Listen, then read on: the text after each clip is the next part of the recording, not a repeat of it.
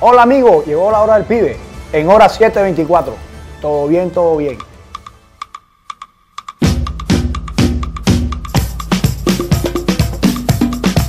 Soy pacífico, soy caribe y en Santa Marta juego fútbol con el pibe. Quiero gritar. ¡Qué alegría!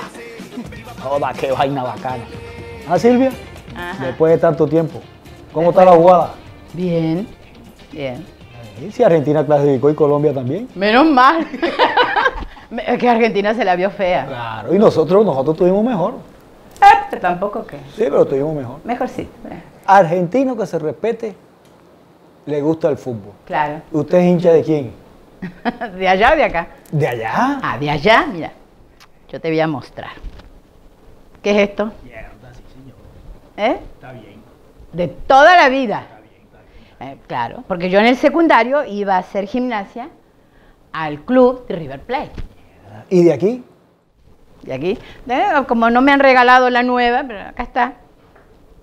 Junior Tupac. Es que Junior es Junior y sí tiene que ser Junior. Ahora, cuando estaba la autónoma era la autónoma, pero cuando está Junior es Junior. No, pero va bien, va bien de equipo. Va bien de equipo. Y vamos a hablar de la autónoma, que usted metió la autónoma. ¿Qué pasó con el equipito ese que teníamos nosotros, más bacano que el carajo?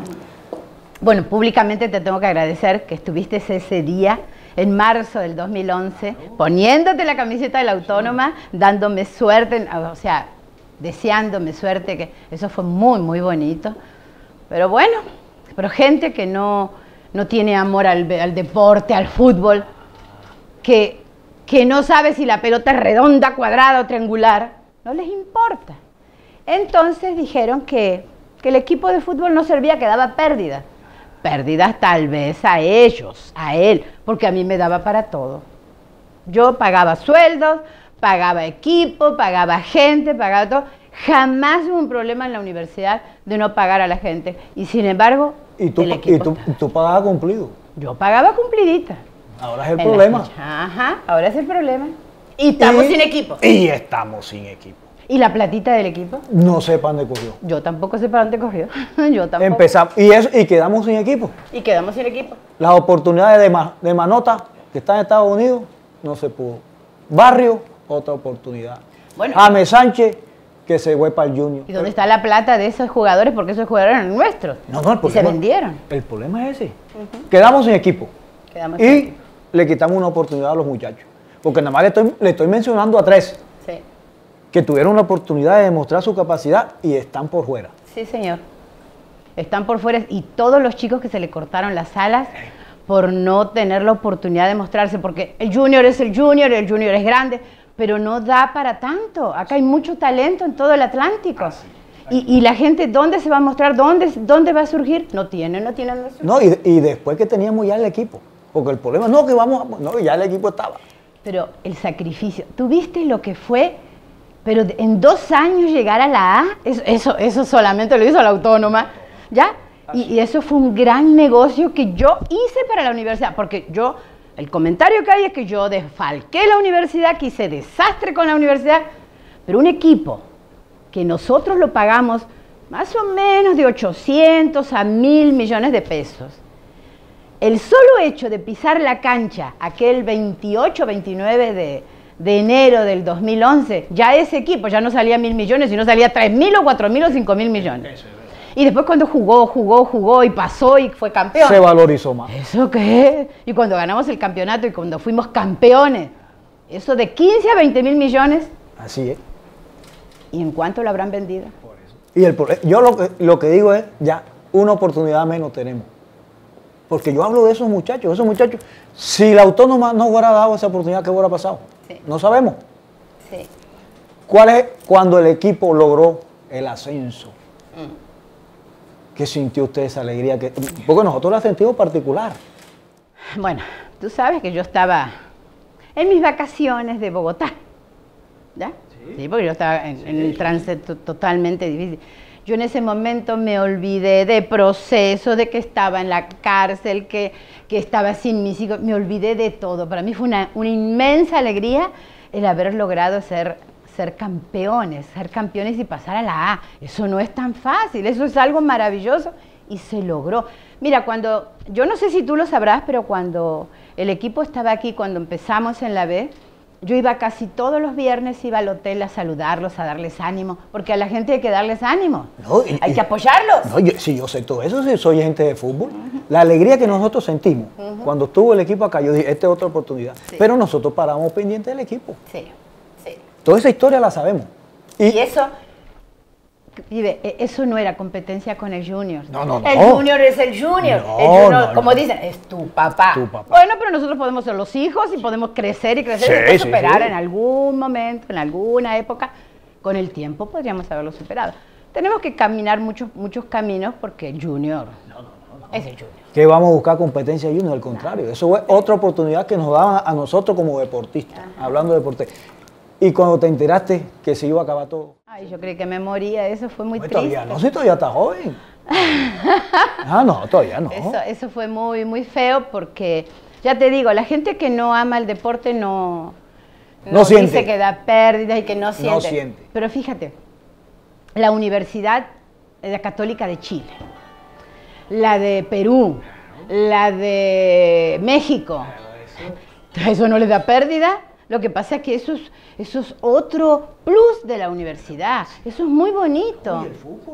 Y te digo, el honor que tuvo Barranquilla de tener la primera universidad que tuvo un equipo profesional. Así no, que aquí la gente estaba pendiente del equipo. Sí. La gente estaba pendiente del equipo. Sí. ¿Por qué? Porque ¿qué es eso? La oportunidad de que, primero, no fue fácil, porque tener un equipo, aunque sea de segunda división, no es fácil. Y lograr después el ascenso, no es fácil. Es verdad. Y eso que la universidad tenía to- todo su escenario para entrenar y todo, organización se llamaba eso. Sí, Porque ahí tenían las canchas. sí, teníamos todo. El rector de la universidad ha dicho que el equipo generaba pérdida. ¿Cómo ento- entonces usted para sostener esa vaina? Yo no sé, pero a mí me daba para todo. Le daría pérdida a él, porque yo no entiendo. Lo que pasa, lo que pasa, pibe, que todas las cosas que huelen a Silvia Guete, a él le da rasquiña, le da bronca, le da rabia, entonces tenía que hacerlo desaparecer. Y así lo hizo, desapareció con todo, todo lo que yo hice y lo que... eh, ¿Qué hizo este señor? Si hasta las inauguraciones que se jacta y se llena la boca diciendo, inauguro este edificio, inauguro esto, todo eso lo hice yo. Él se está llenando de laureles nada más con, con el trabajo que hicieron los demás. Le hago otra, otra consulta. Para nosotros, la universidad era una potencia en deporte. Y ahora, Yo no sé, yo no sé la, lo que dice la gente, lo que habla, lo que, lo que mencionan es que, que ya no hay, no están las becas de los deportistas, que ya no está, no es lo mismo que antes. Yo le daba a cada deportista, le daba su beca, su media beca, y si me traían triunfos tenían su beca completa.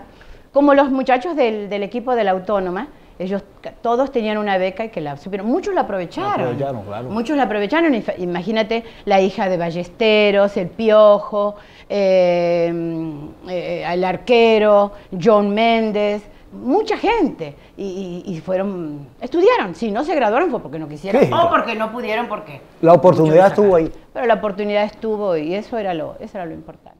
¿qué estaba haciendo el día 5 de septiembre del 93? Viéndote a ti. Viéndote a ti como hacías eso. Ay, no. Eso, eso fue, eso fue la verdad un, un momento muy difícil para los argentinos. Te cuento cómo fue eso.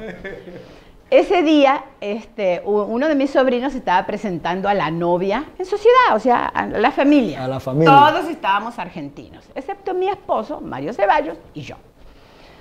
Este, bueno, yo no, yo, yo estaba doble nacionalidad, pero yo, yo quería mi argentinita. Este, cuando vino el primer gol de Rincón, mi marido dice, ¡Gol! Yo lo miré como diciendo que tenés que gritar gol. pero pasó. Al ratito, gol. Ese, ese fue, eh, sí, eh, ¿cómo es que? Faustino Asprilla. Después, otra vez Rincón. Después la pelota iba sola. Nadie la podía. y Yo, yo digo, pero ¿será que el arco estaba inclinado o qué? Pero la cosa es que ganaban. Y mi marido primero empezó con el gol despacito, después con el gol, después salió a garca, gritaba, cantaba. Y la pobre muchachita que recién entraba en la familia, gritaba al lado de él abrazados y nosotros todos no, no podíamos creer. No No, lo podíamos creer. No, yo no lo podía creer. Yo no lo podía creer. Pero bueno, nos ganaron en buena fe, 5 a 0. Bueno, alegría chévere para el pueblo colombiano. Hablemos de una situación barro, como digo yo. Sí, dime. ¿Cuál es la situación que tiene ahora jurídica actualmente? Perseguida, señalada por todos, eh, pero señalada por inventos que han hecho, por muchos procesos que, que hacen, y todavía no me han podido demostrar nada, pero, pero esto es muy feo. O sea, yo no le, no le deseo a nadie que caiga en, en las redes de la gente que, que a uno lo envidian o lo odian o lo tienen rasquiña porque inventan un montón de cosas y no, y no tienen, no tienen pruebas, no tienen nada, pero, pero sin embargo los procesos siguen, entonces uno se tiene que defender y estoy aquí y me quedo aquí y doy la cara porque yo no tengo nada que ver, yo no hice nada. Tú tienes que pensar que la universidad la fundó Mario Ceballos. Mario Ceballos fue fundador. Sí, yo sé que algunas personas le colaboraron pero no lo que dicen ahora, que aparecieron unos nuevos cofundadores, esos tipos que ni estaban ni aparecían. Est- ¿Y de dónde salieron esos manes? Ah, porque quieren, como están cobrando una platita, porque dicen cofundador, hay billete, entonces ahí dicen cofundador, pero el único fundador fue Mario Ceballos. ¿Ya? Bueno, ¿y por dónde andábamos? ¿Cuál fue el tema que se me fue la paloma? No, deje del problema ese jurídico que Ah. tiene. Que ya usted dice que está saliendo de esa vaina. Yo, yo tengo la esperanza de ir saliendo si se falla en derecho. Pero a veces uno piensa con todas las cosas que ve en televisión y que uno se entera, dice, ¿será que hay derecho? Porque a mí, a mí me han condenado una cosa que yo no tenía nada que ver, no hay pruebas porque no hubo pruebas y sin embargo me condenaron. Entonces estamos en casación, estamos en todo, pero ¿y? Bueno, a ver, nosotros estamos en el mismo tema, nosotros no sabemos nada de esa vaina. Bueno, está Te voy a preguntar una vaina. ¿Qué? ¿Tú tienes la casa por cárcel o te pusieron brazalete? Esa vaina No, que a mí me pusieron brazalete. Pero ya te quitaron esa vaina. No, yo lo tengo acá, el brazalete. Ok, ok. No, porque nosotros no sabemos esa vaina. No, no nos joda. Nosotros hacemos fuerza y sabemos de la situación porque conocemos el tema. Sí. ¿Me explico? Yo tengo brazalete. Ok, listo, ya esa vaina va va a pasar. Yo, bueno, hablemos del fútbol otra vez. ¿Usted se volvería a meter otra vez esa vaina de fútbol? Claro. Porque por ahí, por ahí hay una, una opción, estamos buscando una presidenta. Ahí se va a reír. Yo ya fui presidente. Por eso. Este sí, yo quisiera tener. Y, ¿y quién te dice que a lo mejor les doy la sorpresa otra vez? Sí, ¿quién te dice?